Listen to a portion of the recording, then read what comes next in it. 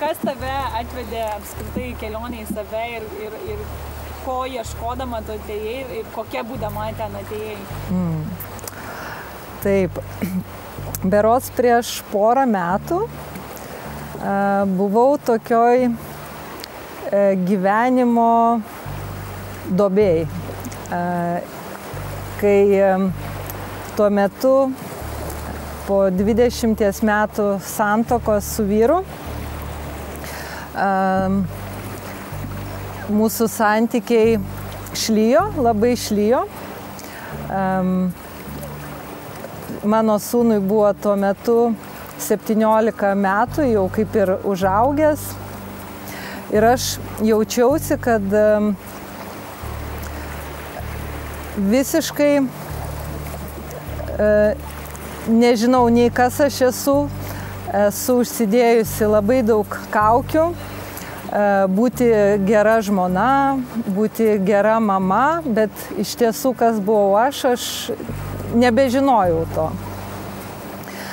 Ir tuo metu e, kažkokiu būdu aš pamačiau e, Leonoros video ir mane pritrenkė jos jaunystė, ir jos e, požiūris aplamai į, į gyvenimą. Į, Ir man tai pasidarė įdomu, kaip šita mergina, tokia, tokia jauna, žino tiek daug, o aš visiškai nežinau. Dėl to pradėjau ieškoti internete daugiau jos video ir, ir supratau, kad man reikia kažko tai griebtis, kažkokio to paskutinio šiaudo Ir nutariau, kad reikia važiuoti į Ibizą. Atvažiavusi pirmą retrytą, per vieną savaitę man atsidarė visiškai kitas gyvenimas. Aš atsimenu, kad per vieną savaitę sužinojau tiek daug, ko nesužinojau per galbūt 20 metų. Ir dėl to grįžusi namo nutariau, kad noriu ir toliau žinoti ir, ir reiškia, gyventi visiškai kitaip.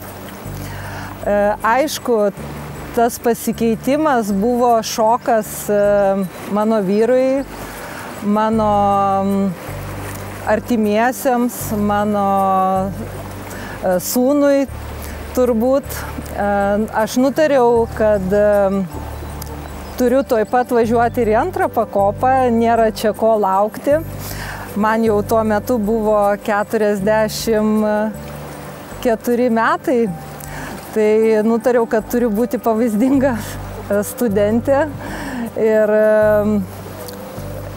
išmokti to gyvenimo kiek galima greičiau. Žodžiu, nuvažiavusi į antrą pakopą, sužinojau dar daugiau. E, bet tuo metu, kol aš e, buvau antroji pakopoj, e, mano vyras tuo metu susirado kitą moterį. Ir grįžusi iš antros pakopos,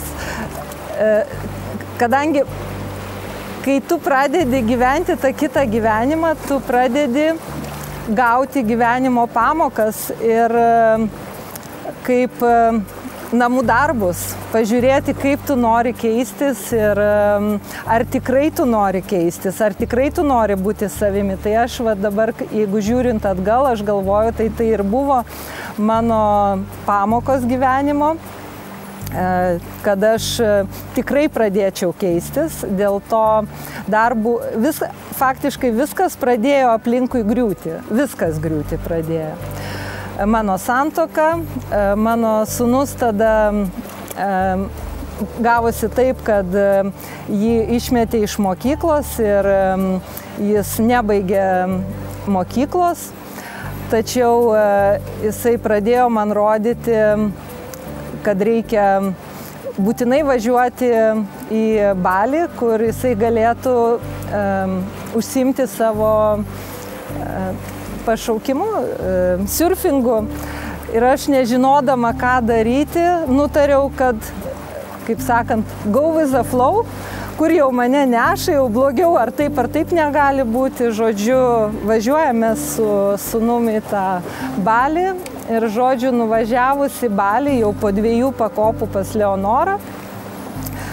Um, gavosi taip, kad aš patekau ten, kur aš turėjau ir būti, kas mano gyvenime dar labiau pakeitė ir mano ėjimas į save pasidarė dar spartesnis. Tuo metu Lietuvoje susirgo irgi mano mama labai. Tai irgi buvo, žodžiu, viskas keitėsi drastiškai bet e, prabuvus Balyje metus laiko aš grįžau atlikti trečią pakopą pas Leonorą, kad jau užbaigti tą visą augimą ir kaip, kaip egzaminą padaryti savo. Ir žodžiu, po trečios pakopos gavosi taip, kad viskas sparčiai pradėjo eiti statytis iš naujo, viskas buvo naujai statoma. Mano santykiai, aš vėl kartu su vyru, mano sunus labai, reiškia, dabar užsijama veikla tą, kurią jis nori, jisai gyvena gyvenimą tokį, kokį jisai nori. Mano mama dėl to, kad jin susirgus buvo, gavo naują namą, jinai irgi visiškai e, gyvena naują gyvenimą, mano santykiai su e, mano seserim pasikeitė, aplamai su visais manim supančiai žmonėm ir į mano gyvenimą atėjo labai labai daug įdomių žmonių, kurie nuolat e, mane ir toliau keičia ir veda, nežinau dar kur, bet kažkur veda į save. Tos kelionės į save per tas tris, tris mhm. pakopas, ką ten tu gavai tokio, uh mhm. -huh. kas ten per įrankį ar, ar, ar veiksmai, ką, ką tu integravai į savo gyvenimą, kas tada pradėjo uh mhm. -huh. keisti, žinai, nu, kokie būtent dalykai, žinai. Taip. Um, man atsimenu po pirmos pakopos, tai buvo susitikimas su savo mažąją mergaitę.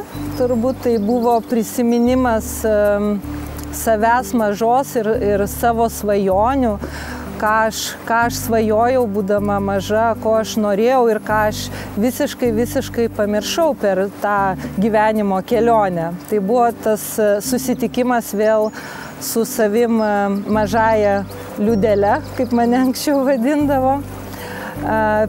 Antroje pakopoje buvo gilesnis ėjimas ir išgryninimas santykių su aplinkiniais, supratimas, kokių aš esu prisidėjusi įsitikinimų ir blokų, kurie visiškai nepriklausė nuo manęs, kad, kokie, kad aš gyvenau visiškai ne, ne savo įsitikinimais, bet kažkieno tai kito, savo tėvų, savo, savo vyro, savo vaiko, savo, kad, kad esu užsidėjusi be galo daug kaukių kur po tom kaukiam slipiu tikroji aš. O trečioji pakopa tai turbūt buvo e, kaukės nusiemimas. Kaukės nusiemimas visų, iš, e, naujas gimimas. Tai va, čia buvo mano tas toksai, jo, gimimas ir aišku, taip pat atradimas į bizos tai čia buvo irgi kažkas tai, e, nežinau, liktai aš čia būčiau kažkada tai gyvenusi, buvusi, taip turėjo būti, kad aš čia būčiau. Per visą tą kelionę aš supratau, kad e, tolimesniam gyvenime mano didžiulis noras yra um, padėti kitiems uh, suprasti, kas yra iš tikrųjų tikras gyvenimas kaip aš sakau, experience your life. Um, tai um, išgyvenk savo gyvenimą tikrai uh, iki um,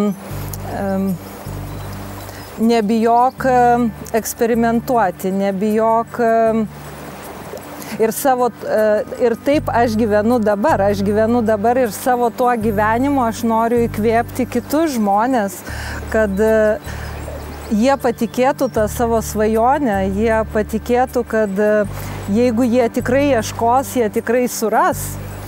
Ir manau, kas mane žino, kas mane stebi, aš kažkom tai įkvėpiu juos gyventi iš tikrųjų.